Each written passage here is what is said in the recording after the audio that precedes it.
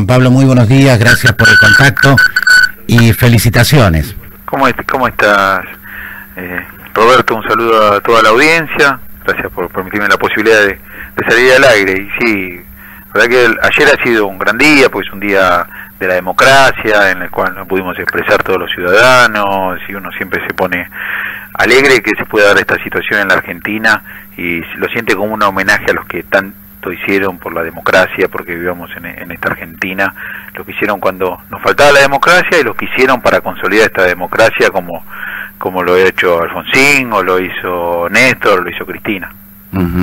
Cafiero, Antonio Cafiero, bueno, hay tantos que han hecho por, pero a veces es injusto el no nombrarlos. Pero... Sí, yo, mira, justamente esta mañana recordaba al Chueco Mazón, pobre, que un infarto le, quitó la vida el día viernes, un gran operador político, un tipo que va a ser muy difícil este, reponerlo en el peronismo, ¿no? O sea que para mí fue un tema, lo tomé muy personal a mí, el, me, porque yo eh, tenía una amistad con él, trabajé con él, yo trabajé con él cerca de un año, estuve, y y la verdad que siempre tuvimos una relación, eh, nos vimos en Mar del Plata este verano y, era eh, más de un operador, una, gran persona, muy campechana y que su, fortaleza estaba, eh, estaba basada en los vínculos personales. Y en generar empatía, generar amistad, saber que uno podía contar con él y, y que era viceversa. Y la verdad que una, con una visión muy, muy lúcida de lo que tenía que ser el peronismo de futuro, estaba trabajando de manera eh, muy fuerte para lo que tenía que ver toda la renovación generacional del, del peronismo desde un segundo plano.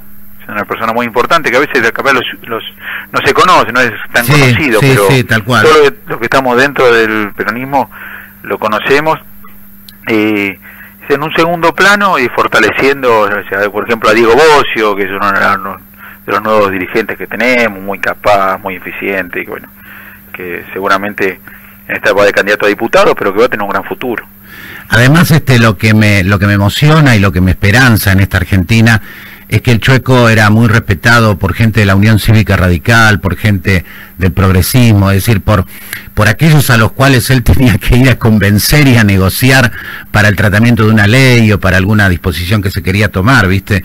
Y, esto realmente a mí me, me, da una esperanza de una Argentina que me parece que es lo que ha pedido la gente ayer, ¿no? Más política, más, más discusión, más debate.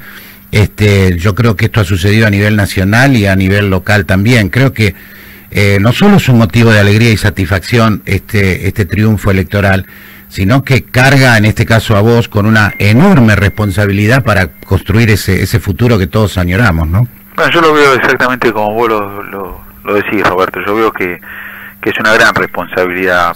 Por eso, en el día de ayer, en el día de hoy, estamos actuando, actuando con templanza, sabiendo que es un, que es un gran honor el que los ciudadanos ponen en en este intendente, la posibilidad de seguir transformando el partido de la costa, que y que hay que hacerle honor a, esa responsabilidad que ponen en uno, y que uno tiene que trabajar como lo venimos haciendo hasta ahora al 100%, viendo ver aquellas cuestiones que nos estaban faltando, el, el medio vaso vacío, yo me eh, todos los días veo el medio vaso vacío, lo, que está faltando, más allá que sé que está el medio vaso de agua, lo, sé que está, y sé cómo se llenó, pero yo sé que cada, hoy tengo que trabajar para que haya una gotita más de agua en ese vaso, que haya una gotita más, para que cada vez esté un poco más lleno. Y en eso es lo que nos, encontramos abocados. Entonces, me parece que en este tiempo una de las cuestiones que hemos podido lograr como costeros es podernos generar una identidad como, como costeros.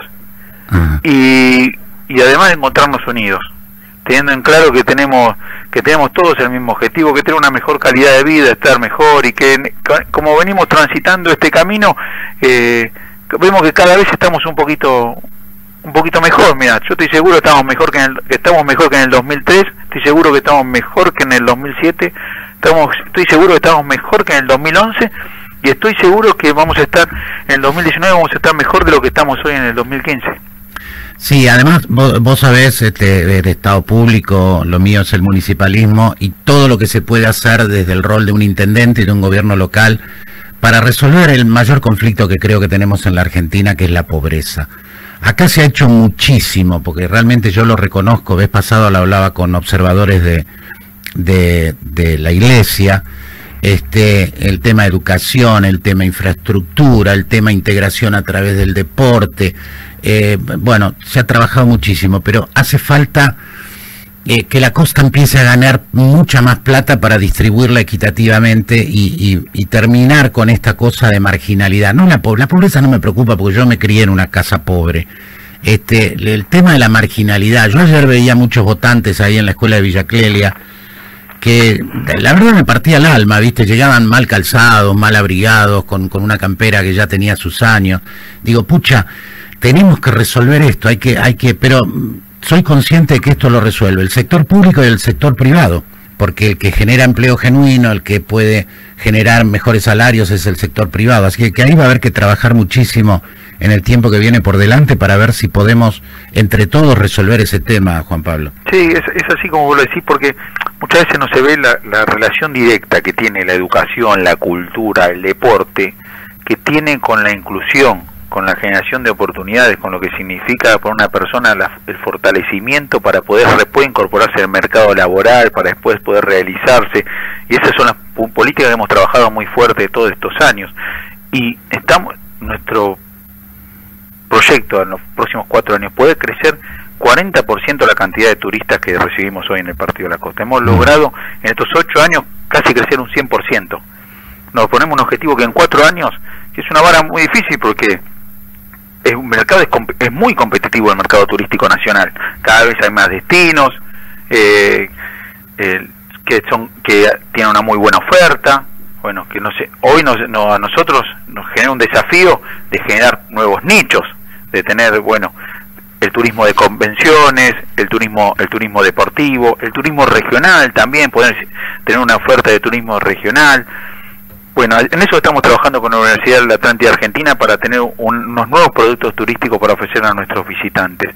Estoy convencido que con, la planificación que venimos llevando adelante, con la innovación que caracteriza también la gestión en lo que tiene que ver con, con, la gestión y con con lo turístico, vamos a, vamos a poder incrementar ese 40% que fíjate que hemos en estos años en el Partido de la Costa hay 17.000 puestos de empleo más en la industria del turismo, nada más. Sí, sí, sí.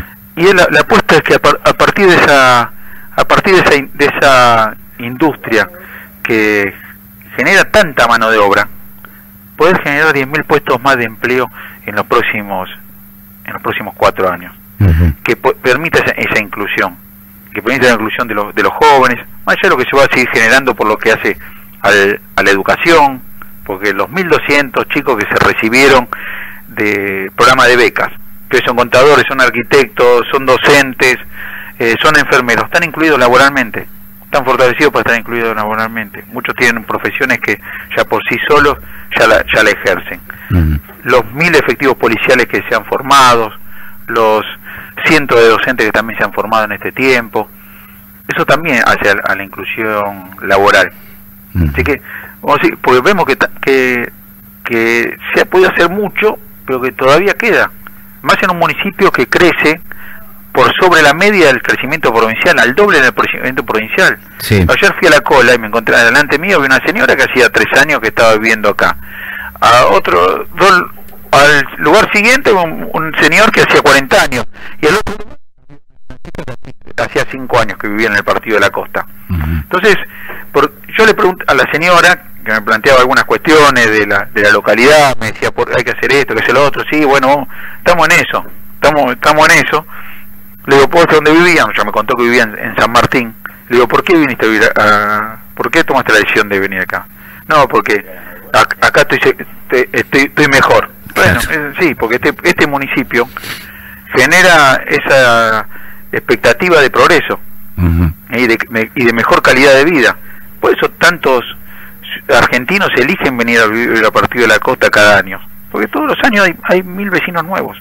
Sí. En promedio, hagamos así en números generales, hay mil vecinos nuevos que eligen venir de, del interior de la provincia de Buenos Aires, de Gran Buenos Aires, de Capital Federal o de una provincia al partido de la costa porque ponen, como lo hicieron nuestros pioneros, ponen su expectativa de progreso acá. Entonces ese también es un desafío nuevo. Entonces, por un lado, hay que, hay que resolver nuestro crecimiento poblacional y por otro lado eh, por natalidad, digamos, y por otro lado resolver nuestro crecimiento poblacional por migración. Claro, es muy atípico el partido de la costa. Sí, sí, es todo un desafío. Mira, a mí me, me, apasiona tanto este tema que me quedaría charlando contigo hasta las 3 de la tarde. Pero un solo tema. Día voy, a ir, me quedo ahí. antes de las 3 cortes programa, pero. un solo tema más. Este, Está bien, falta octubre, ¿no? Que es el segundo tiempo, hay que poner las fichas ahí y hay que mirar para adentro. Pero después de octubre. Eh, a mí me parece que hay que producir una apertura política. Yo he visto hombres y mujeres transitar por esta radio que tienen la vocación, que tienen las ganas, que tienen el esfuerzo, y a veces una elección los deja fuera y los perdemos para la tarea de la política, para esa tarea que vos y todo tu equipo tienen que llevar adelante. Hay algunos que no, están movidos por las mezquindades, son van a la política. pero hay mucha gente valiosa, como decís. Claro, hay que abrirle las puertas a esa gente y hay que darles un, lugar de protagonismo. Eh, porque porque no no se pueden ir al sector privado este y perder los dos años.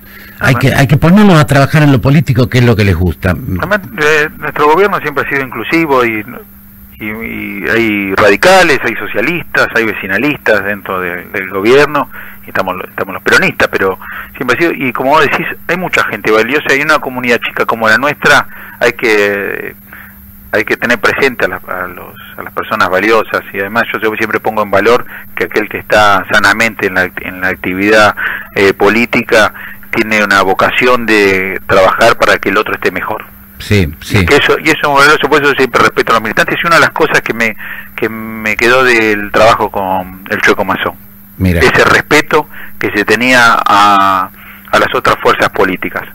¿eh? Y, en las diferencias y respetarse y ver cuáles son las coincidencias. Y seguramente con muchos de los que se presentaron en esta elección tenemos coincidencias una de las cuestiones que quiero reconocer es la elección que llevó adelante Fito Córdoba, que fue mi contrincante, digamos así, en la, en, la, en la interna de Frente para la Victoria. Que llevó adelante una muy buena campaña, toda con propuestas, con ideas. Coincidimos en, en lo nacional, en lo que el modelo del país que queremos para adelante, coincidimos en lo provincial también, y tenemos algunas diferencias de visión en lo local. Pero estoy seguro que tenemos muchas coincidencias también en las visiones locales, así que eh, seguramente en estos días nos vamos a, a reunir con él y lo voy a invitar a que, a que se sume también a esto, porque la verdad que me parece que es una persona muy valerosa, como todo el grupo que está con él en el nuevo encuentro, y también hay muchos radicales que estuvieron en esta elección muy valerosos. Eh, hay, hay mucho para rescatar, como vos lo planteas. Hay mucho para rescatar y, y creo que tenemos que estar más unidos que nunca. Hay que entender que esta es nuestra casa, el Partido de la Costa, que tenemos que tirar todos juntos de este, de este carro, que necesitamos ayudarnos, ¿eh? porque mm. somos pocos, así que nos tenemos que ayudar. ¿eh? No hay, no hay quien no necesita ayuda. ¿eh? Yo necesito ayuda, yo necesito que me ayude, que me, necesito que me acompañen y voy a convocar a todos para que así sea, porque la responsabilidad es grande y hay que estar a la altura. Corregime, yo los últimos datos que tengo es este 42% para Juan Pablo de Jesús, 27 Marcos García, 14 Alonso, ¿son correctos? Sí, es así. ¿Es y, este y Fito 3,8, 4% Fito Córdoba, que Está bien. también en eso estamos. Está bien. Bueno, importante, importante triunfo. ¿eh? Eh, una vez más, felicitaciones y bueno, a seguir remándola, porque esto no es nada más que aprobar Historia 1 para después ir a aprobar Historia 2, para después aprobar Historia... Una, una anécdota europeo dice, nosotros tenemos que estar el día del nacimiento, el primer día de escuela, cuando lo bautizan, el día que se casa, el día que tiene su hijo y el día del velatorio. Si faltamos a cualquiera de esas, somos una reverenda porquería de personas. es, es inagotable el trabajo, hay que estar permanentemente al lado de la gente. Bueno, Juan Pablo, gracias por este contacto. Bueno, ahí está, eh, nos parecía importante la palabra del intendente municipal. 42, conteo final, eh, este es lo que tenemos, ya chequeado con el propio intendente. 42% de los votos para Juan Pablo de Jesús, candidato, precandidato ya tiene la candidatura. 27% para Marcos García, 14% para Leandro Alonso, que también hizo una interesante elección.